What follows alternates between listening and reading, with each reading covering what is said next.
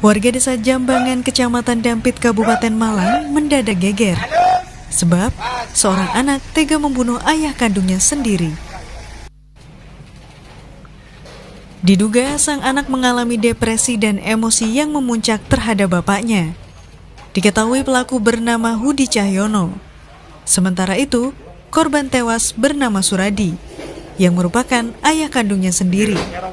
Lalu kakak kandung, Ponimi, mengalami luka karena mencoba melerai.